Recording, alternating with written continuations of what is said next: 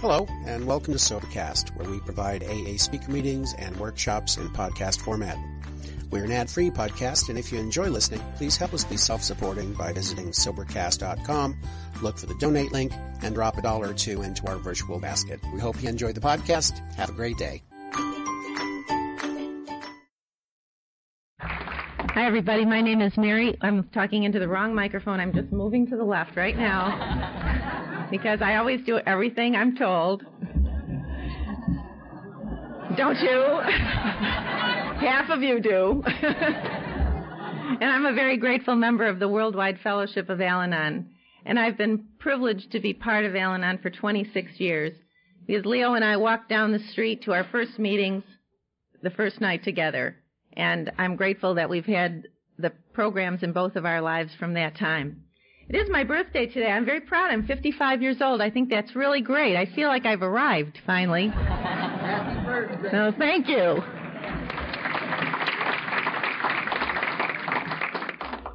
And I wonder where those 55 years went. You know, I even look back and I wonder where those 26 years went. And I, I feel so grateful that those 26 years were really such hard years, but good years and growing years. Um, I'm very nervous this morning. I don't know why I don't. I speak a lot, and I shouldn't be nervous. But you know, my program has changed in the last few years, and I don't quite get it yet. And so I'm probably nervous because I have no clue what's going to come out this morning. Leo would call that an, an honesty attack. so good luck to you. when I was a little girl, probably four or five years old, I uh, my family had relatives, my father's sister, who lived on the banks of the Erie Canal in near Buffalo, New York. And we spent many, many summer Sundays there. And everyone drank beer, and everyone ate raw clams and threw the clamshells into the Erie Canal. And, you know, I was a little girl, and I was there as part of that, and that's what we did on Sundays. And as a little girl, I had a cousin who was just a few years older than me, and I just loved him and uh, he was he was an important person in my life. He would let me play wiffle ball on his team while everyone else was telling me to get the heck out of the way. And one summer I was with him, very little girl, and we were playing across the street in the the uh, neighborhood park in the sandbox, and we were building sand castles. There was a child running around crazy, very like Leo actually, as I look back, and he was the neighborhood bully. And he kept running through that sandbox and running right through our castles and just ripping them up. And we were getting aggravated with that. So my cousin looked at me and he said, We're going to make a plan. I loved this. So I was with him and, and he said to me, This is what we're going to do. We're going to build a sand castle and let him run through it. And we're going to build it again, let him run through it. But the third time he comes through it, we're each going to grab one of his legs. We're going to bring him down. He's going to leave us alone. It was a good plan. So we built the sand castle. He turned off, came running through, tore it apart, built the sand castle. I'm getting excited. I'm itchy. You know, this is great. And he comes running through, and I'm ready. So I reach out and I grab his leg, but my cousin is looking at me like, not yet. But I've got his leg, and I'm not letting go. And he ran around that park with this little girl attached to his leg, over every stump, whatever. I was pretty beaten up, but I didn't let go. And if you didn't hear any more of my story, you'd know who I was.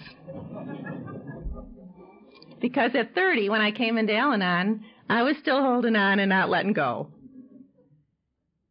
The second little story I recall from my, actually, I don't recall it, I just learned about it not too long ago, was when I was about uh, three, my mother had a child there were quite a few of us. My mother had us in pairs from the time she was 18 to the time she was 41. there were kind of groups of kids. And um, I was in the middle group. And then she had this, this baby. And the child was born Down syndrome. And she was told that he probably wouldn't live very long, but she chose to bring him home. Now, I don't remember any of this. You don't remember things that happened when you were three years old. But she did bring him home, and he lived with us for nine months in our home before he died. And that was a very sad time in our household, as you can imagine. And what I remember, what my part in that was that, you know, I was three years old and I was happy. I didn't have a clue what was going on. And I know that as three years old, my mother loved me. She'd named, she'd given me a little nickname, Mimsy, which, you know, I am, I guess. And I could make everybody feel better in this sad household. I was not, I was the baby. I could make everybody feel better. And I did. And you know, that's what I carried through life. I knew that my role was to make everybody feel better and feel happy. The perfect Al Anon in the making. Won't let go and knows her role is to make everything better. There I was. I hadn't even gotten to five years old yet. I hadn't even been to school, and I was already perfectly formed. Well, I did go to school, and when I was in my junior year of high school, this freckle faced, red-headed kid came by. And, you know, there he was. He was exciting. I was the Honor Society. Leo was not. I was the orchestra. Leo was rock and roll. We were like meant for each other, you know? If I hadn't met Leo, I would have met somebody just like Leo because we were just, we, that was not chance meeting. We just found each other. There is no one, by the way, just like Leo, so, which you'll see later on, but, so it would have been hard to find somebody just like him, but I would have come close. Because I was primed for that. And Leo fit into our family perfectly. We drank beer, he drank beer. You know, he was drinking it much younger than anyone else. But he was part of our household already at 16 and 17 years old. And our relationship, even then, moved around alcohol. And all of the notes and all of the little conversations were, you know, little love notes you pass when you're in high school and all of that. There was always that line that said, you have to go out drinking with the boys this Saturday? Now, wouldn't that have been a clue about something? But no, I just ignored that. We even drew little cartoons. I remember little cartoons of of, you know, stick figures with bottles and everybody kind of happy. I found those notes a few years back when we were married and I thought, what were you thinking? What were you thinking? Well, I wasn't thinking. I was feeling and, you know, it felt right. So, uh, there we were. And, and we had a relationship for the next few years. I went off to college. Leo went to Vietnam. And for the next few years, we just broke up and got back together and broke up and got back together and broke up and got back together till finally I said, what the hell, I might as well marry him. I can't get rid of him. And Leo's told me since what you never want to tell an alcoholic is go because he's staying. So we did get married. And when I got married, I thought, I just knew. I just figured, well, what the heck? I can't, there's nothing else to do. It's not going to be good, but, you know, we'll just try it anyway. And as I was going down the aisle with my father, just, you know, just as we were heading down the aisle, I heard myself emit this incredible gasp, which made my father turn to me and say, Is everything all right? And I said, Yep, I'm fine. And you know, I was fine for years after that. How's Leo? Fine. How are the kids? Fine. We're all fine. You know, our lives were falling apart. We were screaming and yelling and, and carrying on. We had no money. Our, our things were in disarray, but I was fine. I'd put on my little Mary Sunshine face and go out and tell the world that I was fine. Because what the heck was a nice girl like me doing in a place like that? So I had to be fine. I just had to be fine. So I was. When I came into the program and y'all told me what fine meant, you can guess if you don't know you know, letter by letter what that meant, I was so surprised. But that was our marriage from the beginning. The drinking was present from the beginning. I'd grown up with some drinking, so you know that's just how it went. And I had no expectation that it was going to be any it was going to be great. So there I was. Well, time passed, and I became a crazy person. You wouldn't expect that, would you? Those of you who are out there going, oh, really? you know, it's hard to tell who was sicker. Dan said, you know, Al-Anons didn't have the chemical dependency. We got crazy without it. Lucky us. And we didn't even have the fun. so that's who I was. And I was a screamer and a yeller, and my poor little kids got my anger that I wasn't going to get aimed toward Leo because Leo was not nice when he drank. And I knew that was coming right back at me. So all of the anger that I felt, which I couldn't reveal because nice girls don't have that, I was too fine to have real anger. So I stuffed it down and it would come out in all kinds of other ways. It would come out in headaches, it would come out in stomach problems, it would come out at my little children. And it wasn't it wasn't real pretty. Somewhere in there I I sort of had the sense I needed to save myself. But you know, I was into melancholy. I was really into melancholy. I wasn't just sad, I was melancholy. It was so more Frank Sinatra, you know. And I can remember standing at my kitchen window and looking out and feeling so sad. It was just sad. And thinking, whatever happened to the girl who used to laugh? Where is she? What happened to her? And not really knowing what was going on in our lives and denying that alcohol was the problem. You know, I'd see those Dick Van Dyke programs or I'd see those quizzes in women's magazines and I'd just slam those magazines shut and throw them away. I couldn't be looking at that stuff. So in my heart, I knew there was a problem, but I wasn't going to look at it because it was too big. And I wouldn't have had a clue what to do about that. But somewhere along the line, I, I felt I needed to save myself. And so um, the way I did that was to become a martyr. Didn't you? You know, that was where my self esteem came from. I was so good. I just became gooder and gooder. And the badder Leo got, the gooder I became, you know?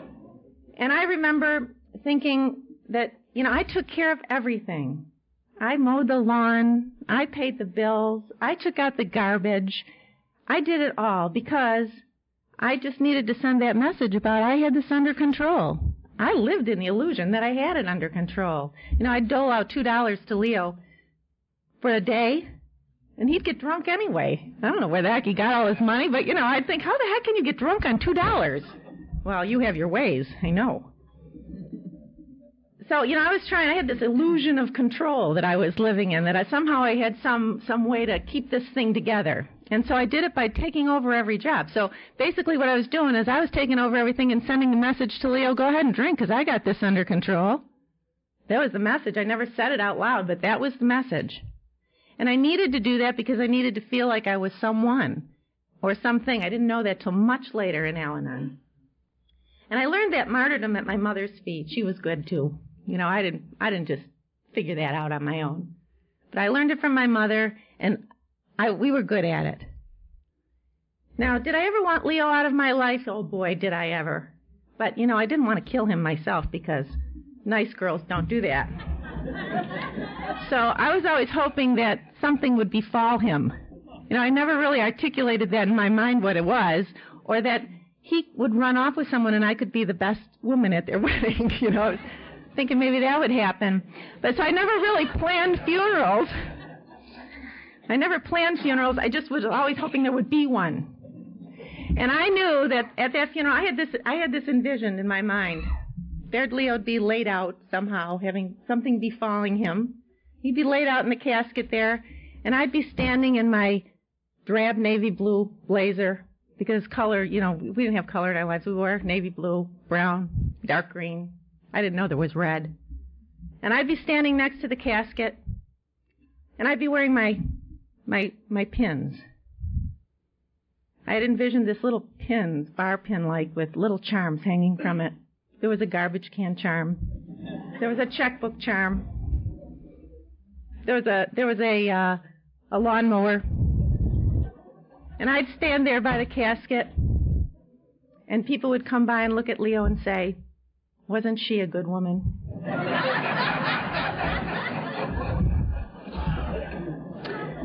Later on, I also got a little. Uh, I was speaking someplace, and I was talking talking to them about the uh, wonders of sex in an alcoholic relationship, and um, remembering that you know I was a young woman, and uh, my body liked sex, even though I didn't like Leo, and so, you know, he'd come home and we'd have this sexual relationship, and Sister Mary Gregory would rise up from the bed and just hover there in the air while the dirty deed was going on down below. and then when it was all over, I would retake my body, you know, and still maintaining my goodness. And uh, somebody in the front row said to me, So what was the charm for that?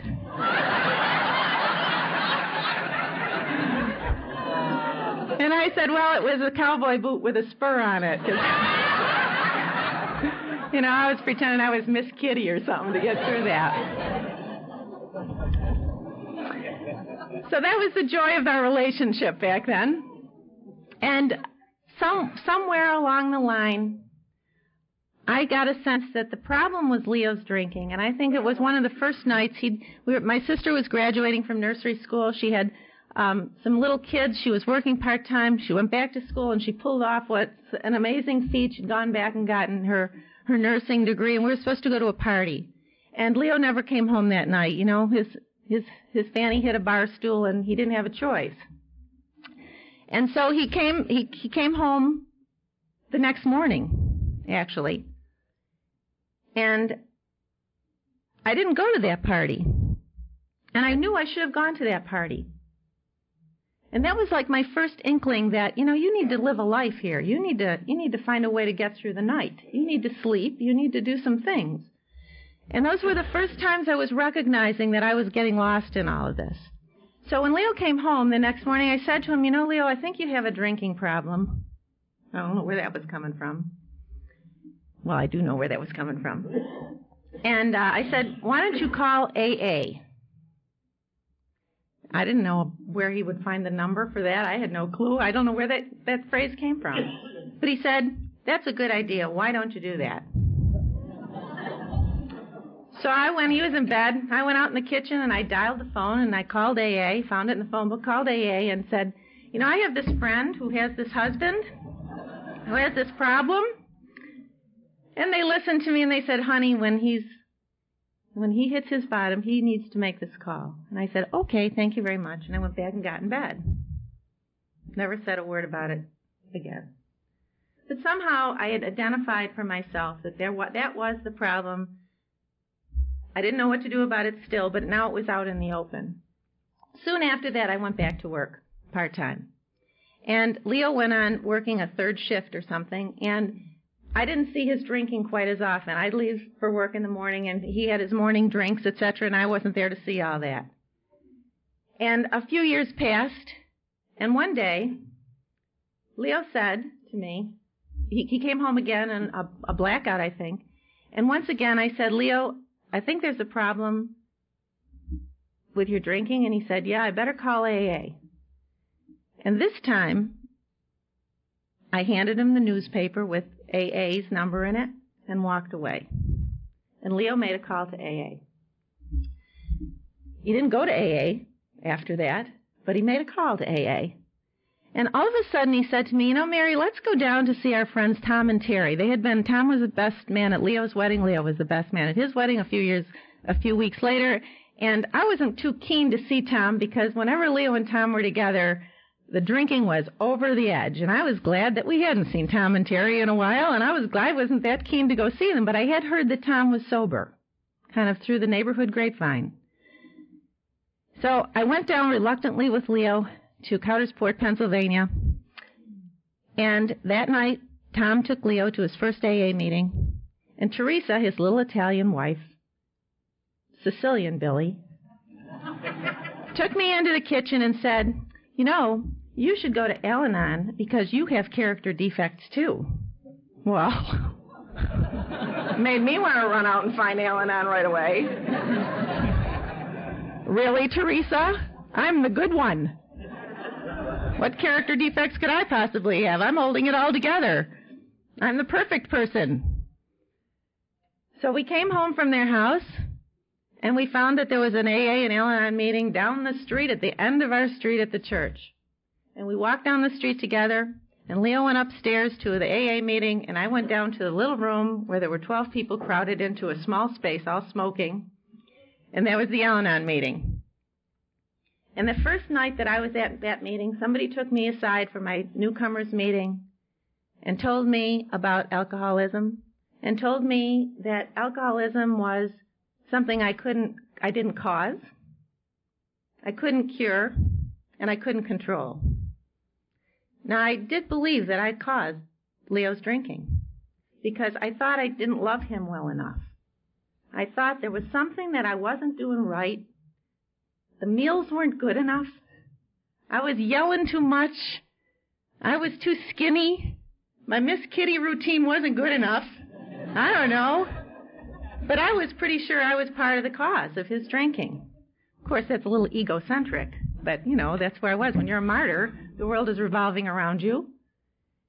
But that first night when they said those things to me, it was as if a giant weight was lifted off my shoulders. And I believed that the first night. I know a lot of people struggle over and over with that for many years in Al Anon, that they can't control it. And that they, can, they somehow can find the little switch to cure it. But that first night, I bought that. And I knew I was home. And for the first time, I talked to people about what was going on in our house. I never did before because I was too fine. You know, I didn't tell anybody what was going on in our house. Of course, they saw Leo's car parked on the lawn. You know, I'm sure they noticed. I'm sure they noticed that I was the one out there trying to pull him out. We lived next to a church in our first apartment, and it seemed very important on Sunday morning that the parishioners did not see a drunken person slouched over the wheel of the car. It made much more sense to see a woman trying to pull a dead weight body out of the car and up the stairs. You know, I did. I was a bar caller. Were you? I had, in fact, I, I had them listed on one page. I didn't have to bother looking them up. I just had them all listed on one page, and when Leo wouldn't come home, I would just flip to that page and I'd start calling. And I was compulsive. I could not not call bars. And you know, maybe the third bar in, when I'd ask, "Is Leo there?" I'd hear down the bar, "Leo, are you here?" and he'd say, "No." And they'd get on the phone and say, Nope, he's not here. And I'd say, Well, thank you very much. And call the next bar. I mean, I was just compulsive. One night I recall when um, I was very pregnant with our second baby, and Leo was out. It was late, late, late. And actually, it was morning. And he wasn't home yet. And I had um, a little infant, a little, one little guy in the crib, and this other one cooking. And the only car left home was this little Austin Healey Sprite convertible that we had. And it was parked out front. So I thought, I'm going out and finding him. It was the first time I ever did that. So I stuffed my body behind this wheel. It was not easy. And started this car up at 4 a.m. Now you can imagine what that sounded like in the neighborhood. It wasn't subtle. And I went out to find Leo, leaving my other sleeping child in the house. The height of sanity. So I found Leo in a parking lot. And I went, well, there he is, and I drove home. so effective, wasn't it? I didn't do that again, but that, I guess I tell you those stories to just illustrate where I was. Just as crazy as a loon. So I came to Al Anon, and I found home. And I found people around the table that were ha- happy and laughing and you know, like I told you, I was into melancholy. I wasn't laughing, and they were. And so, even though the first night, because I was intellectually astute, I knew that I could do all those steps and, you know, the first night. I read them, I understood them, sure, got it. Next. But they would sit around the table and they would talk about the slogans, you know? And I would think, oh my God, these slogans are so trite. I was so arrogant. I was a mess, but I was arrogant. But they were laughing and I wasn't.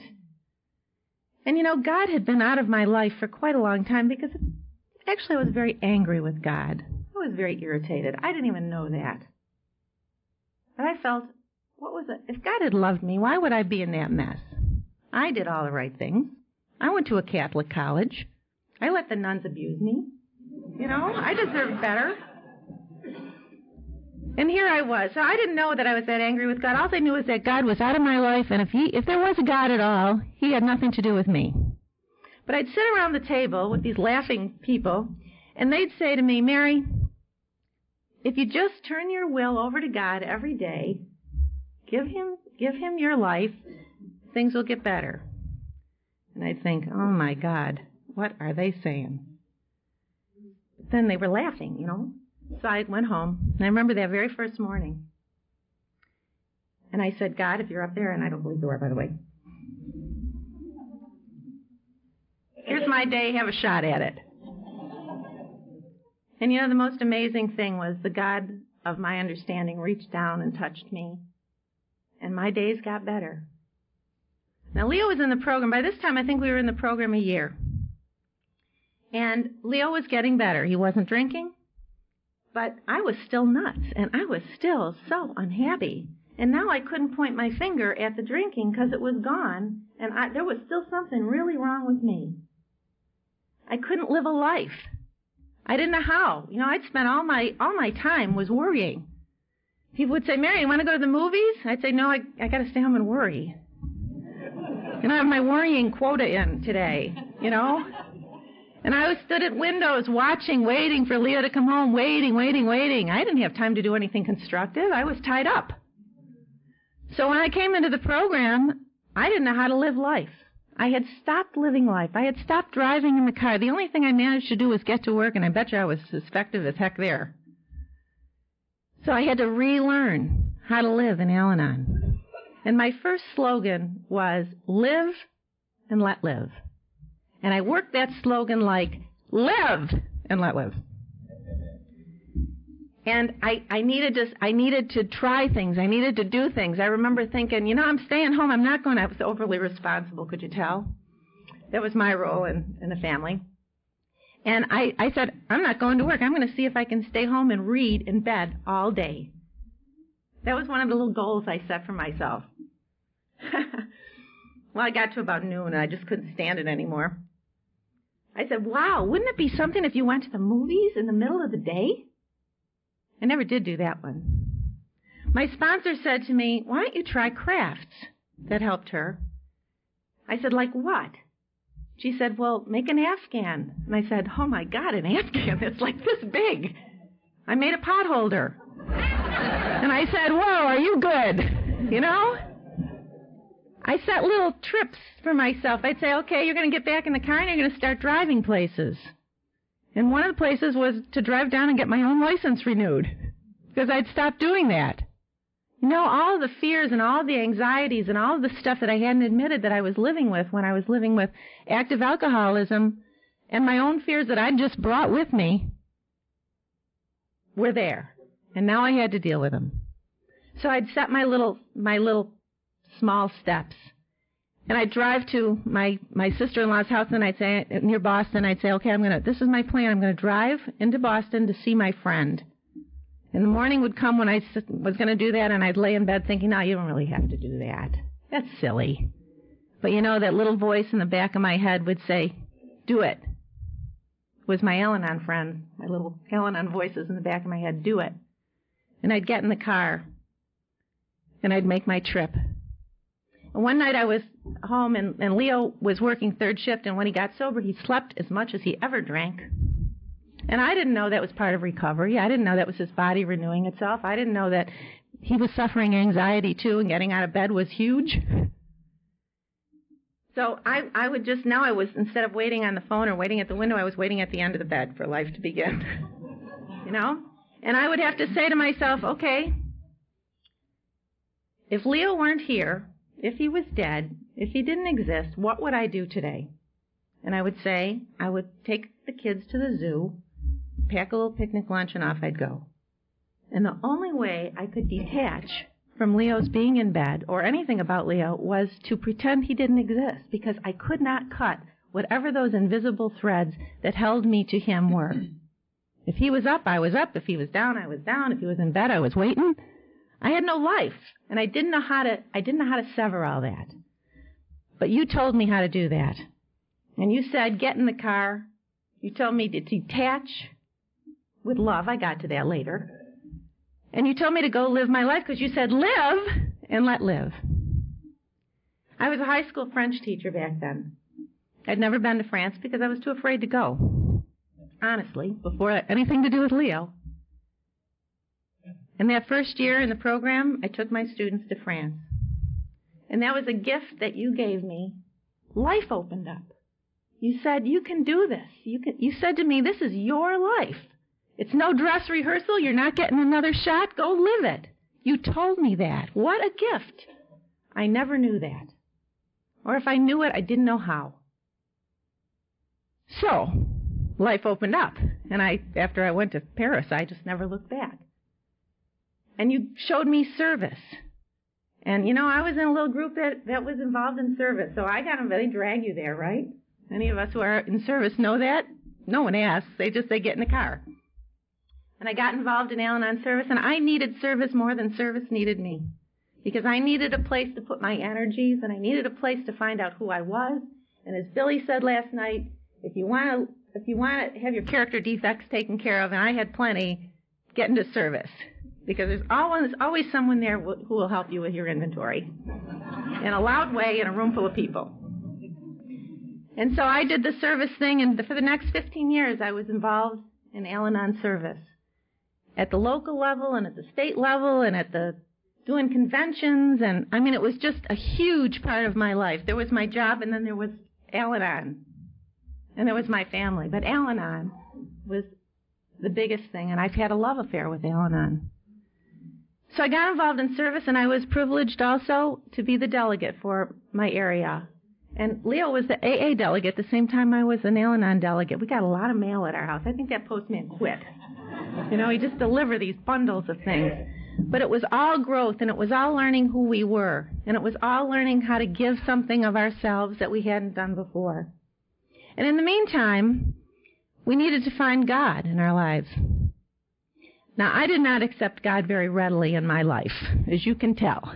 Because when you're in control, you don't need Him. Sometimes he even gets in your way. And so I had anguish about finding God, and I'd try to take a step forward, and I'd pull back, and I'd take a step forward and pull back, and I couldn't put it with religion at all.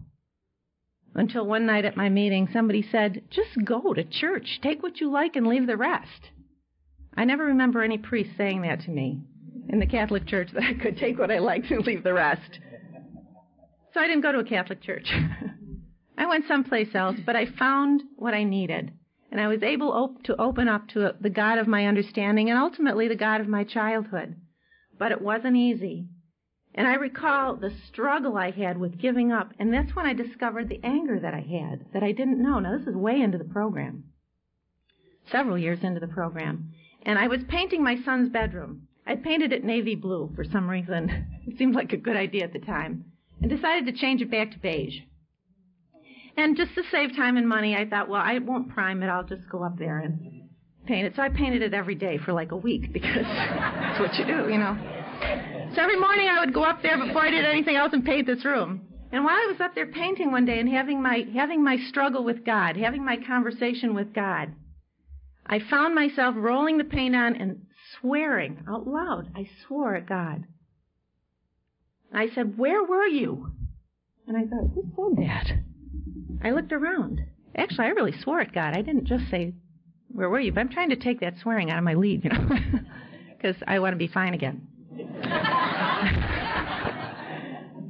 and that, that was the first time I realized that I had separated myself from God. And it reminds me of the story of the couple that's riding in their car and it's, um, you know, 25th wedding anniversary, and, and she says to him, Remember when we used to sit close together and drive? That was before seatbelts, obviously. And he looked at her and he said, Yeah, who moved? Well, that was me and God. Who moved?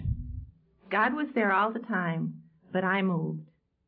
And so after that anger came out, I had this peace. I just had peace. And then God has never left my life since then. And I've been able to find expression with God in ways I never could have imagined. And I've been able to be part of a religious tradition and I, I just, you know, it's still take what you like and leave the rest because you gave me that. But there's no anger, there's no struggle, there's no feeling that somehow I'd been left behind again. And so I had this lifetime, this, this wonderful lifetime of recovery. About five years into recovery, Leo still had a lot of anger. I had enough health in Al Anon finally to say, I don't want to do this anymore. And after five years of recovery for both of us, we took one look at each other and said, Who the heck are you? Because we weren't the same people we were coming into this program. We were both getting healthy and we didn't know what that other person was like. So I said to Leo, I think you should leave. Now remember, the first time I said that, did he go? No. So here I was saying it again. So I think we had a one week split. Leo was home every day during that time. But his sponsor said to him, You know, Leo, if you want to fix your marriage, AA is not going to do that. That's not what AA is about. And Al Anon is not about fixing your marriage. Al Anon is about fixing you. If you want to get your marriage fixed, go to some place that somebody who knows how to do that. And so ultimately we did, and ultimately we were able to live together again and learn how to live together again healthy. You know, we lived a roller coaster life. It was fun. It was negative fun, but it was exciting, right? You're up, you're down, you're all over the place. Oh my gosh, your emotions are running high all the time. You get healthy and all of a sudden it's like smoothed out and you don't know how to live that. I didn't know how to live that way. I had to learn that all over again. I had to find out what what made you exciting, what made life exciting but was still healthy. We didn't know how to do that. You know, a fight was always what got things going before. So we relearned that and you helped us with that. And service helped us with that.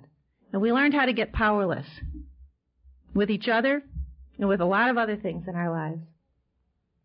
And so we had a we, we had a good good AA Al-Anon marriage, I guess, both working and living our own programs. And I was in the program about 20 years. And I'd done all the wonderful service things. And uh, I decided, well, you know, my kids are older, I'm going to really expand my job. And so I changed jobs and I took on a job with a lot more responsibility. And I was in that job for a few months and uh, I come home one day, my, my boss put me on this big state project, very high visibility project. I was, I was learning how to do it. There was a lot of stress for me and we got a phone call one day. And the phone call was that my sister and my pair, who was three years older than I am, had been killed in a plane crash with her husband.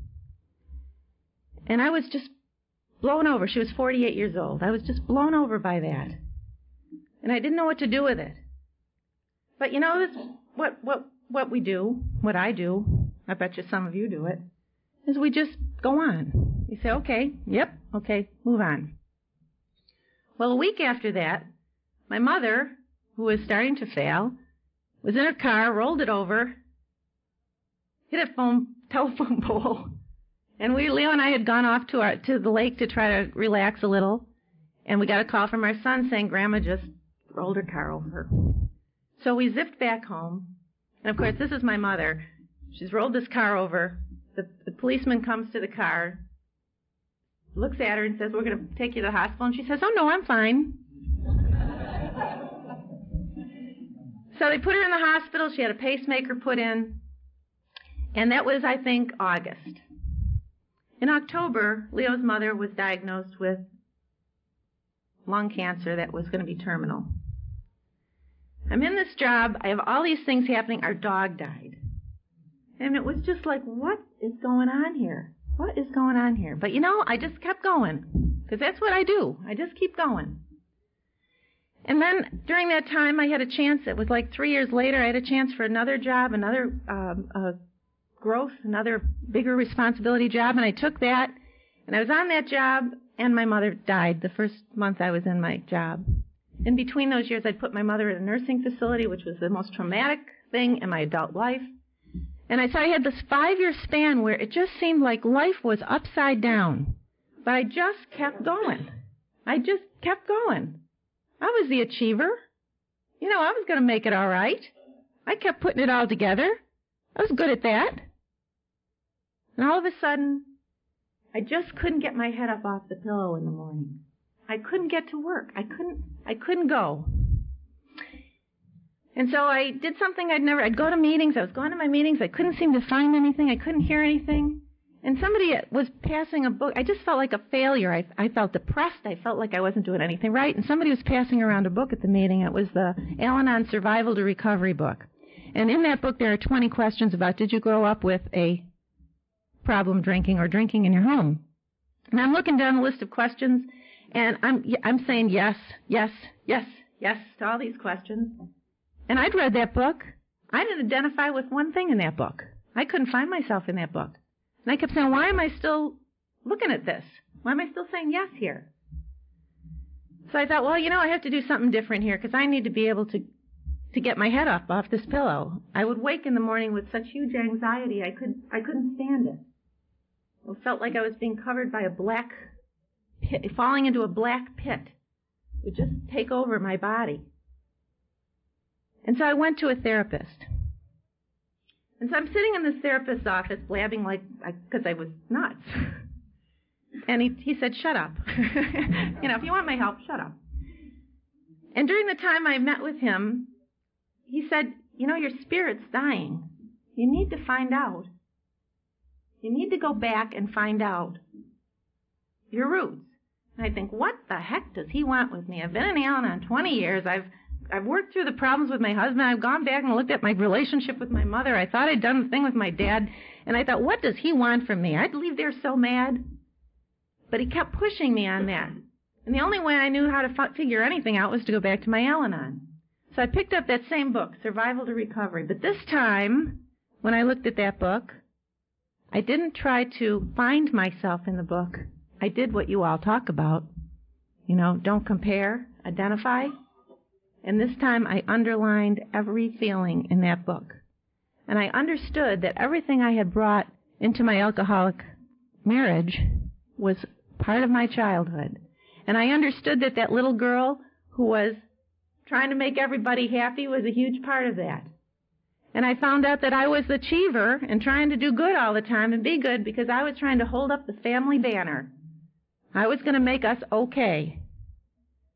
My father was sick many times when I was young. He had tuberculosis and he was away in a sanitarium a lot of the time. There wasn't a lot of money. My mother was as I told you, a martyr. She was also, we don't go there, we don't do this. And yet I had these, I had these visions of grandeur. I was going to college. I wasn't going to any college. I was going to pick Vassar.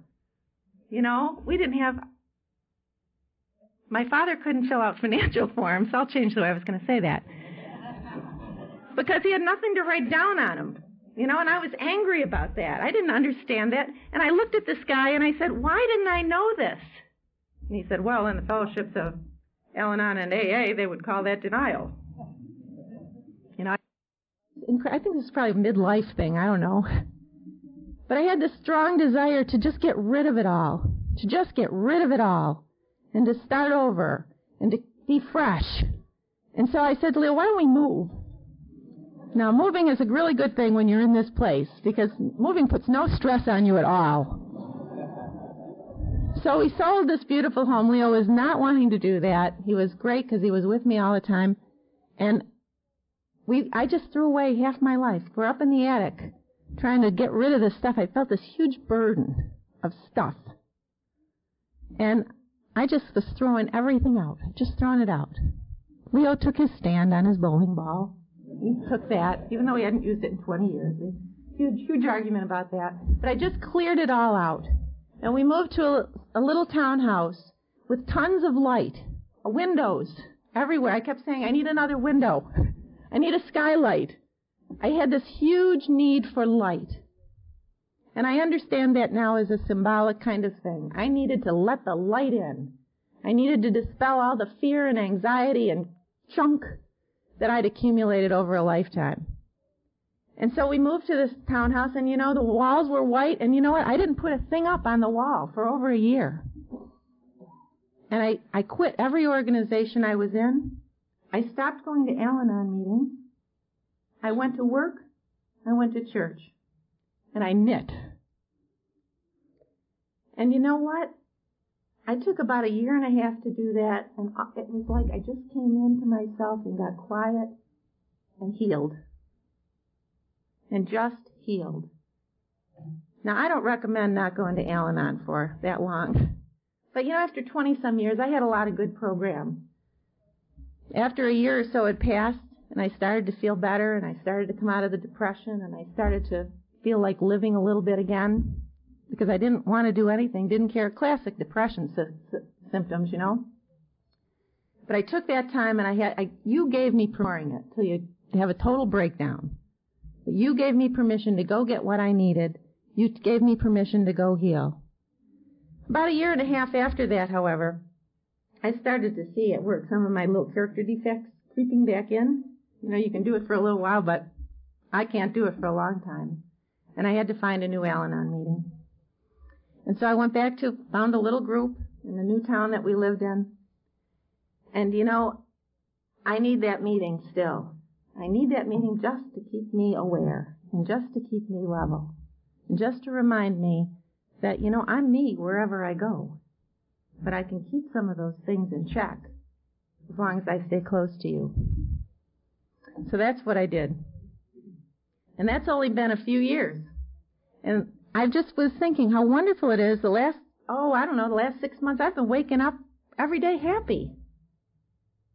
I feel like it's a renewal. I feel like you gave me a second recovery. You gave me two recoveries. And I'm so grateful for that. You know, when I was a, a, a young girl, we used to have to iron clothes. My mother ironed my father's white shirts. I think people are still doing that again now that, you know, it's like natural fibers. We should never have let that happen to us. But my mother would iron these shirts and she'd sprinkle them and she'd roll them up in little sausages and she'd put them in a peach basket with a vinyl liner and they'd cook in there or something. I don't know. Told jokes. You know, when they were just right, you'd take them out and they were ready to be ironed. And when you looked at that shirt and you first pulled them out, they were unbelievably wrinkled. And that was my life before I came to Al-Anon. And you know, the way I tried to get those wrinkles out then was to just push them with the sheer force of my will, trying to get those wrinkles out. But you said to me, why don't you take step three? Buy an iron. Oh. Now I had this iron. I'd go over those shirts, lot better. And then I was in a little longer and you said to me, why don't you take step 11? Plug it in. and you know, if you keep that iron plugged in every day, because you have to plug it in every day, you plug into that source of love and energy and you wrinkle out the wrinkles in those shirts and life goes smoother. And if you start getting down the ironing board a little too far and that plug pulls out, it just doesn't work as well. If I stay out of my way, and if I let God be in charge of my program and my life, life is good. And even in the bad times, I mean, life's life. Life happens, death happens, it just happens. It's your higher power It works out in the end. I like to envision myself with my higher power like we're in a boat. We're out on a little lake, Atwood Lake. Why the heck not? And in my boat, I'm rowing, I'm rowing. God's at the tiller, setting the direction, moving us around. We're going every place we need to go. And then I say, "Excuse me, God, could uh, could I take the tiller?" And God says, "Okie dokie," because that's what He does. And so God moves up, I take the tiller, and we go in circles. We just go in circles. And you know why that is? It's because God don't roll. So if I keep myself rolling like crazy and let God take the tiller, life is good. I can't thank you enough for what you've given me in my life. I love this program. I love the AA program. I love the principles, principles of powerlessness and forgiveness and sharing. And sometimes I think, why the heck do we do this? Why do we stand in, in a room like this and tell us, tell people we don't even really know the deepest, most intimate things about our life? And you know why that is? Because somehow, when we all do that together, we heal. We just heal. And I feel healed. Hallelujah. I love you all. Thank you very much.